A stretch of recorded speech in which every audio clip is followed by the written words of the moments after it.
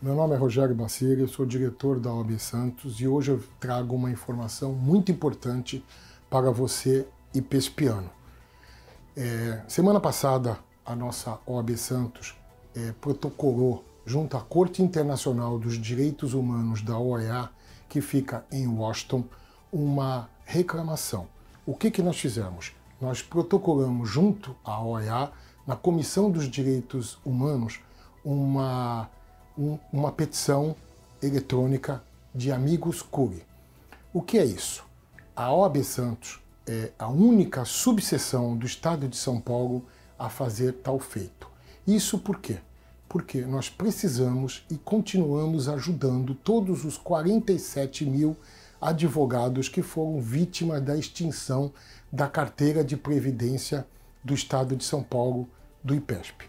Essa extinção ocorreu no ano de 2009. E nessa época, é, perdemos, nós éramos 47 mil advogados e pespianos pagantes, aposentados e pensionistas.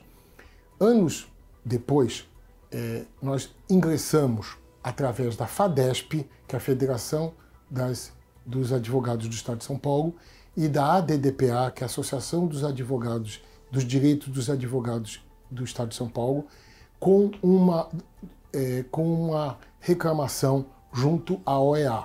Por quê? Porque foi violado os direitos humanos das pessoas idosas e da Previdência. Tínhamos na época aproximadamente 47 mil advogados e dentre eles muitos com idade superior a 60, 70 e até 80 anos. Essas pessoas perderam a aposentadoria e perderam a expectativa de serem aposentadas. Pessoas que pagaram 20, 30 e até 40 anos de previdência foram ceifadas por uma extinção da nossa carteira. Era um direito adquirido. Perdemos, infelizmente, perdemos, a, por causa de uma lei de extinção. O, a, a Assembleia Legislativa do Estado de São Paulo, na época, em 2009, acatou tudo o que o ex-governador em 2009 levou, que era a extinção. Perdemos e recorremos, e perdemos. Fomos ao Supremo e perdemos. Conseguimos garantir poucas coisas. E depois disso, a, ingressamos com uma reclamação junto à OEA, que fica eh, nos Estados Unidos, a sede em Washington.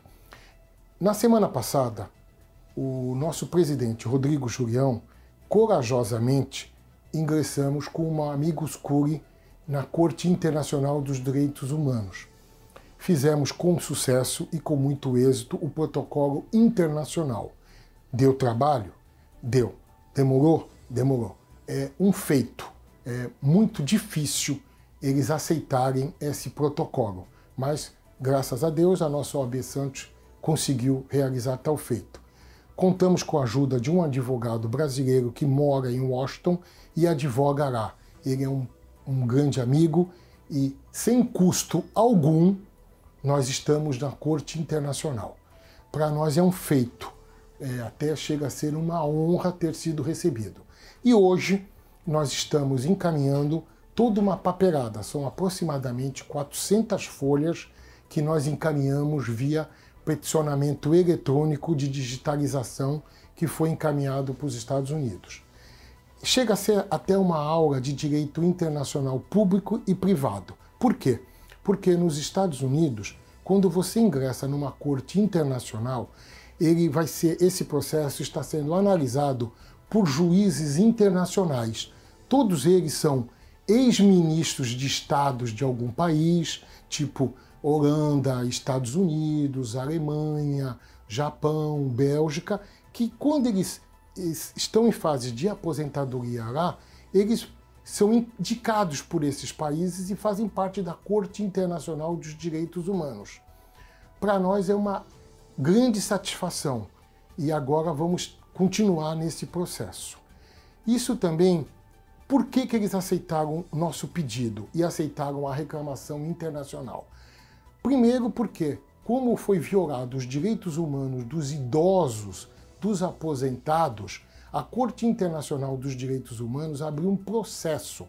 Só que lá fora esse processo se chama reclamação internacional. O governo de São Paulo na época, em 2012, ele foi citado e foi obrigado a apresentar sua defesa. O processo está em andamento. Então existe um processo lá contra o governo de São Paulo e contra a ex-carteira de previdência do IPESP. Se for julgado procedente, o governo do estado perderá e vai perder garantias internacionais, tipo, se ele precisar fazer um empréstimo internacional ou uma repreensão internacional, que é o que nós esperamos. E talvez, pode ser, que nós consigamos até a reverter todo o processo e a Corte Internacional obrigue o governo de São Paulo a restituir toda a indenização e a perda dos 47 mil advogados, que seria para nós um grande feito.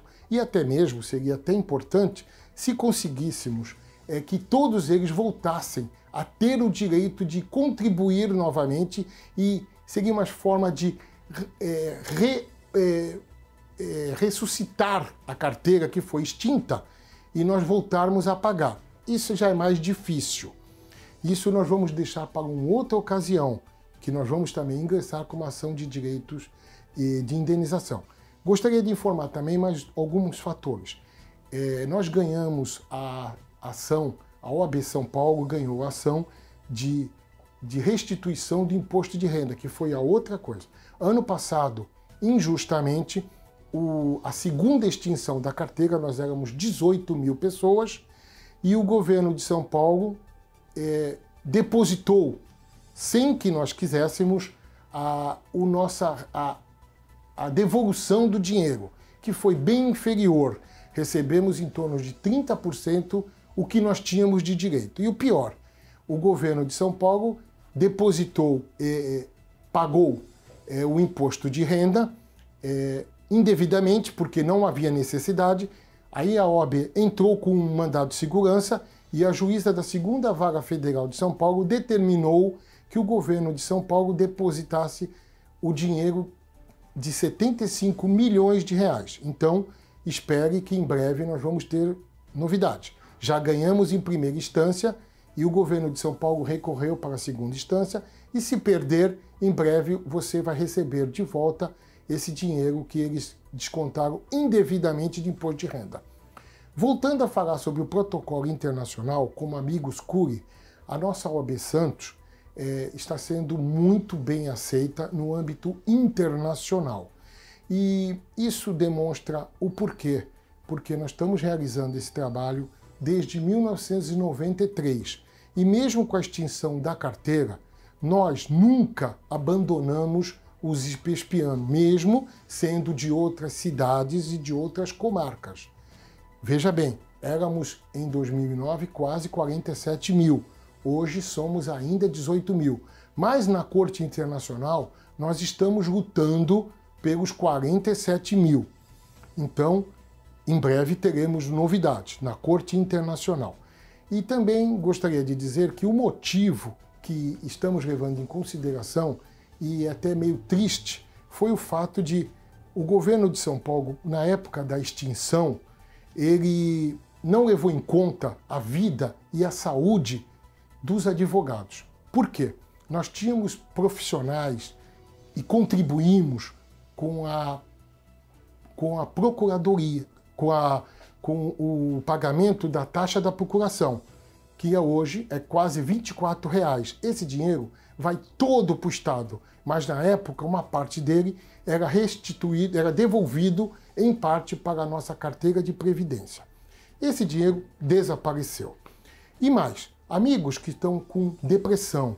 Ontem mesmo recebi um telefonema de uma amiga que já estaria com 40 anos de contribuição, ela está na casa dos 70 anos e há quase 10 anos atrás ela já estava com 60 anos de idade, não teve o direito e a oportunidade de se aposentar, e isso desencadeou uma grande tristeza para muitos profissionais. Hoje, eu recebo vários telefonemas de amigos que estão com depressão porque não estão aposentados. Eles contribuíram 30, 40 anos e receberam um dinheiro muito pífio, foi muito insignificante e o desprezo que o governo de São Paulo fez com a gente.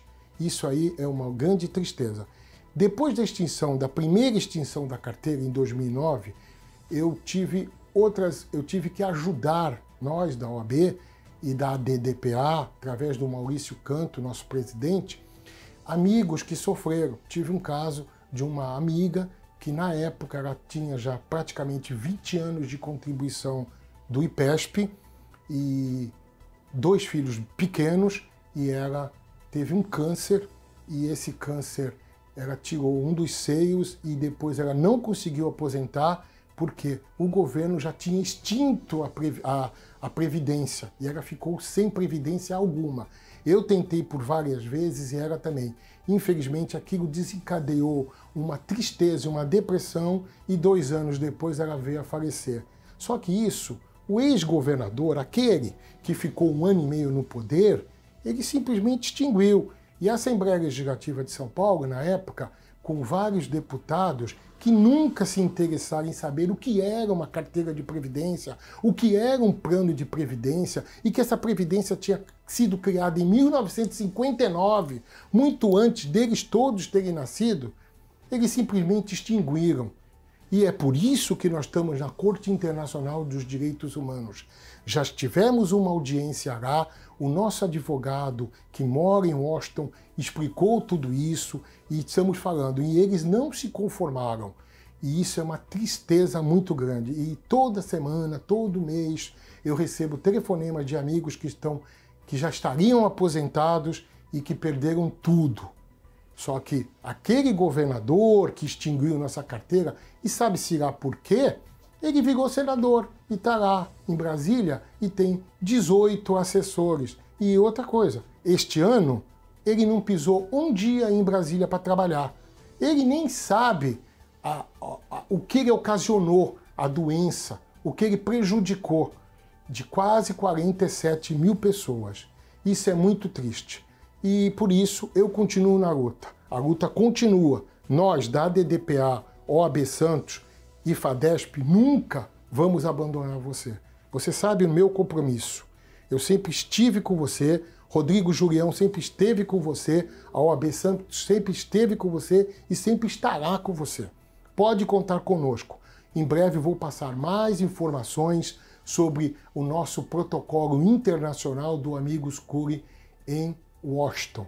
E gostaria de dizer que em breve gostaria de apresentar que foi uma verdadeira aula de direito público, privado e público, de direito internacional público. Por quê? Eu também desconhecia e para mim foi uma grande honra participar do protocolo internacional. Por quê? Nos Estados Unidos, a Corte Internacional, ela tem como ela, você manda o peticionamento eletrônico mas não é simplesmente, você tem que se cadastrar eletronicamente e expor os motivos que você quer protocolar através do Amigos Cure.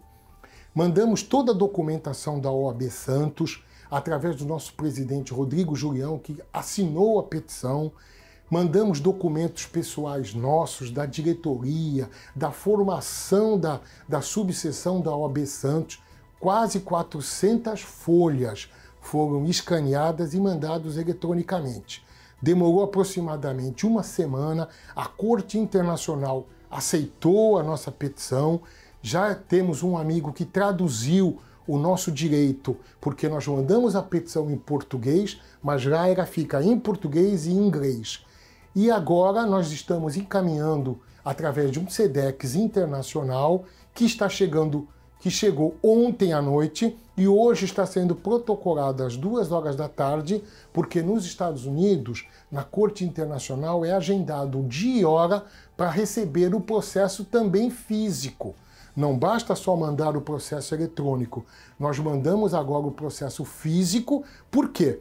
É na Corte Internacional, quando você tem um processo eletrônico, o juiz dirá, ele obrigatoriamente abre uma pasta, é um arquivo, e esse ficam os documentos eternamente guardados lá. E somente tem a chave desse, desse, dessa, dessa caixa que eles chamam, né, desse, dessa pasta, o juiz que vai julgar nosso caso, que é da Suprema da Corte Internacional. Se um dia ele desconfiar que aquele documento não é válido, ele pode abrir, somente ele tem a chave, ele abre. Mas eu acho que isso não vai ser necessário. Então, pessoal, conte com a gente. Foi mais um passo importante que nós estamos dando e em breve vou passar mais informações para vocês. A luta continua, o nosso protocolo internacional foi aceito como amigos cure e agora nós da OB Santos vamos receber todas as informações internacionais. E quero agradecer ao nosso presidente Rodrigo Julião, à nossa vice Maria Lúcia Robaro, Tânia Sá, Rafael Meireles e ao nosso, é, nosso Serginho Fernandes Marques, que é o nosso procurador-geral da OAB Santos. A nossa união, nós cinco, e mais o pessoal da DDPA, Maurício Canto e todo mundo, que fizemos esse protocolo internacional. Há uma grande participação de muitas pessoas e em breve passaremos mais informações. Muito obrigado e conto com o apoio de todos.